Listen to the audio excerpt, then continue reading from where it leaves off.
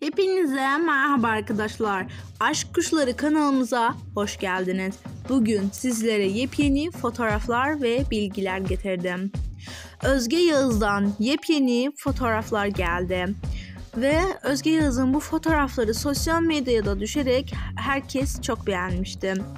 Ben de en güzel fotoğraflarını seçip sizlerle paylaşmak istedim.